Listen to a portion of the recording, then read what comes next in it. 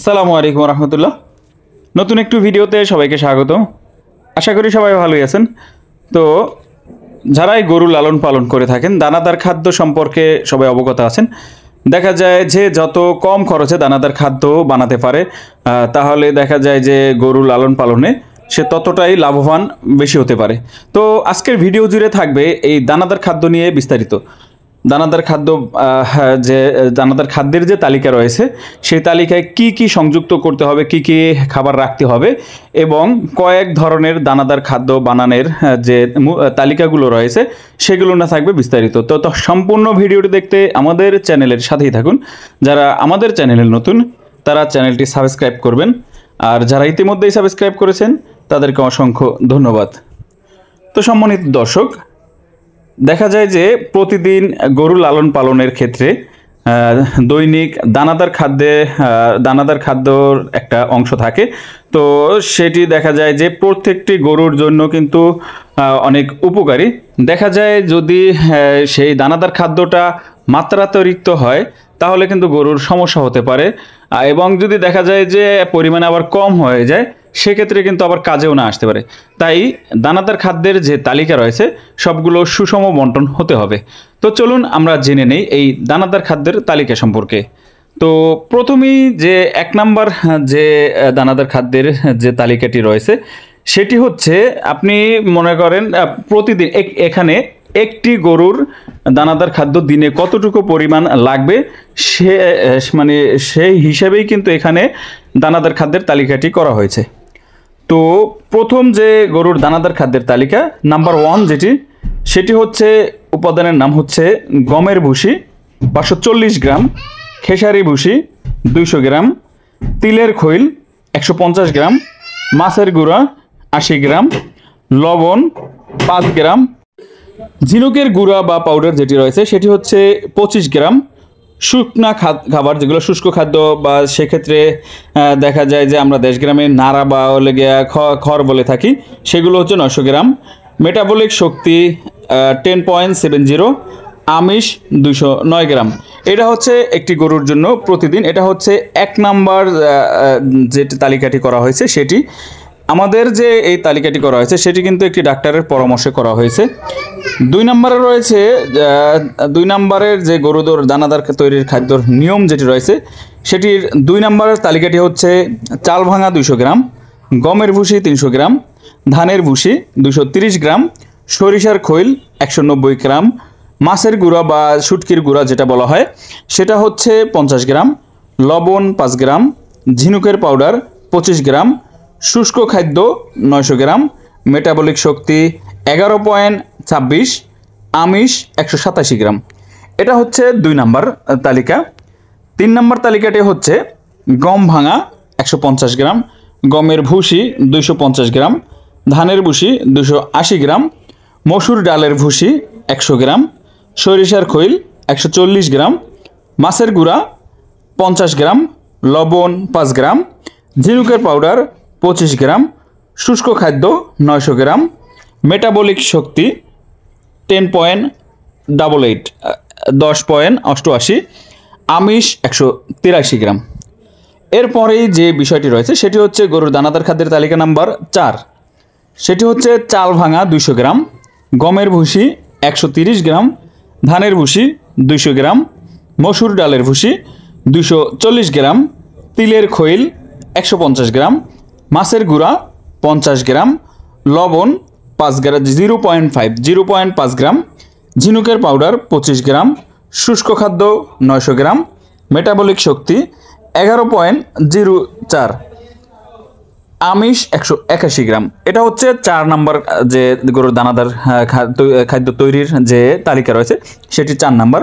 পাঁচ নাম্বারটি হচ্ছে ধানের ভুসি পাঁচশো গ্রাম, খেসারির ভুসি একশো চল্লিশ গ্রাম মুসুরির ভুসি একশো গ্রাম, তিলের খৈল একশো পঞ্চাশ গ্রাম, সয়াবিন মিল বা সয়াবিনের খৈল যেটি রয়েছে সেটি পঞ্চাশ গ্রাম, লবণ শূন্য দশমিক পাঁচ গ্রাম, ঝিনুকের পাউডার পঁচিশ গ্রাম শুষ্ক খাদ্য নয়শো গ্রাম, মেটাবলিক শক্তি দশ পয়েন্ট উনপঞ্চাশ আমিষ একশো তিরাশি গ্রাম।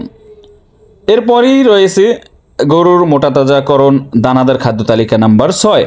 সেটি হচ্ছে ভুট্টা ভাঙা একশো আশি গ্রাম, গমের ভুসি দুইশো গ্রাম, ধানের ভুসি দুইশো তিরিশ গ্রাম, খেসারি ভুসি একশো পঞ্চাশ গ্রাম, সরিষার খৈল একশো ষাট গ্রাম, মাছের গুঁড়া পঞ্চাশ গ্রাম, লবণ শূন্য দশমিক পাঁচ গ্রাম, ঝিনুকের পাউডার পঁচিশ গ্রাম, শুষ্ক খাদ্য নয়শো গ্রাম মেটাবলিক শক্তি এগারো পয়েন্ট শূন্য নয়, আমিষ একশো উনাশি গ্রাম।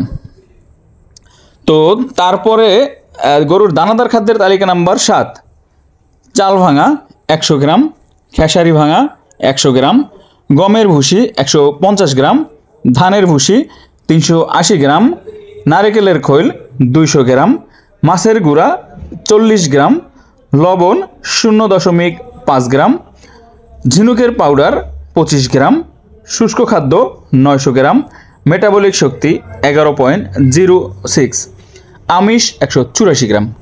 এরপরে সর্বশেষ যে গরু মোটা তাজাকরণ, দানাদার খাদ্য তালিকা রয়েছে, সেটি হচ্ছে নাম্বার আট, চাল ভাঙা একশো গ্রাম, গম ভাঙা একশো গ্রাম, গমের ভুসি দুইশো পঞ্চাশ গ্রাম, ধানের ভুসি দুশো আশি গ্রাম, তিলের খৈল দুইশো গ্রাম, মাছের গুঁড়া বা শুটকি গুঁড়া চল্লিশ গ্রাম, লবণ জিরো পয়েন্ট পাঁচ গ্রাম, ঝিনুক পাউডার পঁচিশ গ্রাম শুষ্ক খাদ্য নয়শো গ্রাম মেটাবলিক শক্তি এগারো পয়েন্ট উনপঞ্চাশ এবং আমিষ রয়েছে একশো ছিয়ানব্বই। তো উপরে গরুর দানাদার খাদ্যের তালিকাসমূহ হতে যে সকল খাদ্যের উপাদান আপনি সহজে সংরক্ষণ সংগ্রহ করতে পারবেন এবং যে যেসব খাদ্যের উপাদান নিয়মিত ক্রয় করার সামর্থ্য আপনার আছে, সেই সব উপাদানের মিশ্রণে তৈরি খাদ্যই হচ্ছে আপনার গরুর জন্য সর্বোত্তম দানাদার খাদ্য। অতএব আপনি কোনো খাদ্য তালিকা কোনটি বাছাই করবেন তা সম্পূর্ণভাবে নির্ভর করছে আপনার লোকাল বাজারের খাদ্যের উপাদানের সহজলভ্যতা এবং আপনার গরুর পিছনে খরচ করার বাজেটের উপরে। আপনারা যে তালিকাগুলো দেখছেন, এর যে কোনো একটি আপনার গরুকে পুষ্টি যোগান দিতে সাহায্য করবে। যে কোনো একটি তালিকা আপনি প্রস্তুত করতে পারবেন। এটি হচ্ছে একটি গরুর জন্য, একটি যে স্বাভাবিক প্রাপ্তবয়স্ক গরু রয়েছে, সেগুলোর জন্য এটি এরকম যদি দেখা যায় আপনার হ্যাঁ, খামারে বা আপনার গরু যদি বেশি থাকে সে সেই হিসাবে আপনি অ্যামাউন্ট বাড়াতে পারেন। এবং এই দানাদার খাদ্য খাওয়ানোর পরে ফলে যেসব উপকার আপনি পাবেন সেটা হচ্ছে এই খাবারগুলো সঠিকভাবে দানাদার খাদ্য প্রস্তুত করতে পারলে এতে রয়েছে গরুর শরীরের জন্য প্রয়োজনীয় সকল পুষ্টি। এসব পুষ্টি গ্রহণের মাধ্যমে গরুর অনেকগুলো কর্মক্ষমতা বৃদ্ধি পায় এবং গরুর মাংস উৎপাদনও বেড়ে যায়। এটা দেখা যায় যে খাবার নিয়ন্ত্রণেও কিন্তু কাজ করে। কোনো কারণে যদি গরুর শরীরের উপর কোনো উপাদানে ঘাটতি দেখা দেয়, যেমন আপনি স্বাভাবিক যে খাবার খাওয়াচ্ছেন, সেখানে যদি কোনো শরীরের শরীরে যদি কোনো উপাদানে ঘাটতি দেখা দেয় বা গরু অসুস্থ হয়ে পড়লে গরুর জন্য প্রয়োজনীয় ভিটামিন, মিনারেল বা মেডিসিনের খাবারের সাথে যুক্ত করা অথবা খাবারের তালিকা হতে কোনো উপাদান বাদ দেওয়া সম্ভব যদি দানাদার খাবার খাওয়ানো হয়। দেখা যায় যে এই যে দানাদার খাদ্যটা, এটা কিন্তু অনেকগুলো মেডিসিনেরও কাজ করে।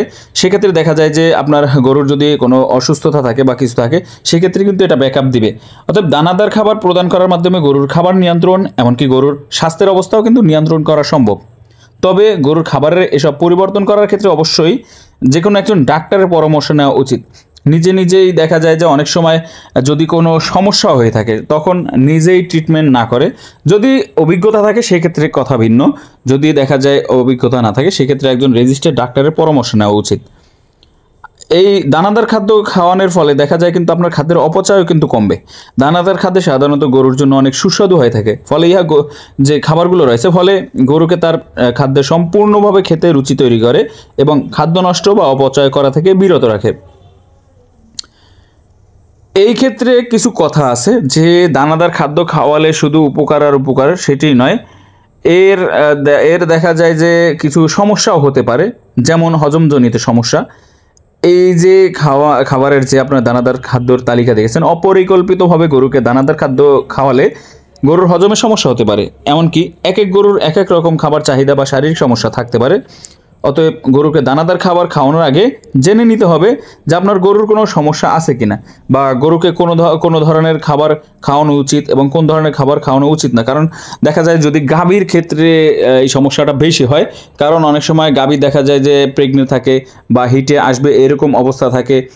এই দেখা যায় যে অবস্থার উপরে ডিপেন্ড করে কিন্তু এই দানাদার খাদ্যের তালিকাটা ভিন্ন হতে পারে।